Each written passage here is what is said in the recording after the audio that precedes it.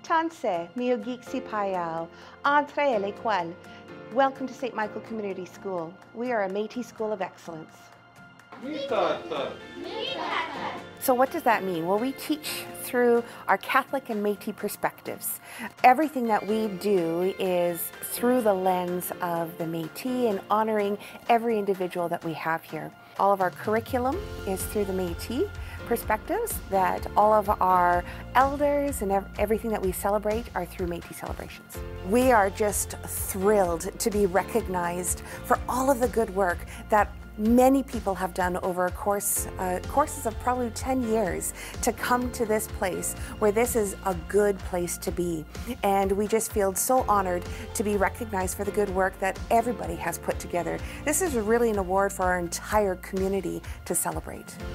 You know, I think the beauty of walking into this school is that the atmosphere and the spirit that exists here. We are so proud. Gordon Martell is, has just been such a lead, and, and uh, uh, as far as, as the board, we've had uh, various people on the board. We're, we're so pleased with people like Alice, who have, we honor her for all of her work um, within the partnership, uh, as well as people like Sharon Zakreski Rebecki, who is on there, Wayne Stu. So there's been a number of, of trustees that have been part of, of the partnership. And uh, with CUMFI and with, with Shirley and Evelyn and all of their folks, we're really pleased to be able to to have witnessed the growth of what this partnership has given to all the students and the staff and the division as a whole.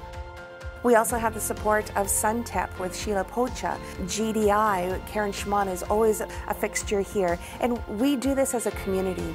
We as Métis people surround each other and we lift each other up.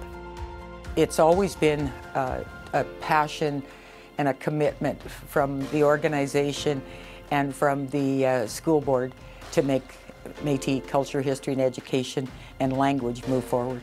We have the ability to work with the Catholic School Board when we're hiring for St. Michael's School, which has never been done before. Uh, it's not like we go in and say, okay, this is who you're hiring, but it's a fair process for people coming into the school because those are the people that are going to teach our children.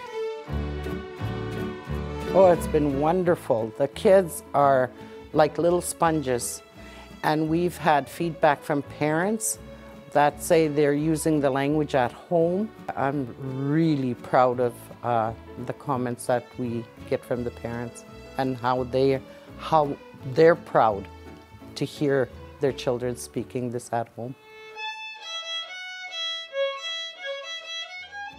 They're using the language, they're feeling the culture, they're understanding who they are. I think those are the joys. I think that all of us that have been working so hard on this partnership, that's what we have been realizing, and I think that's what we enjoy seeing the most.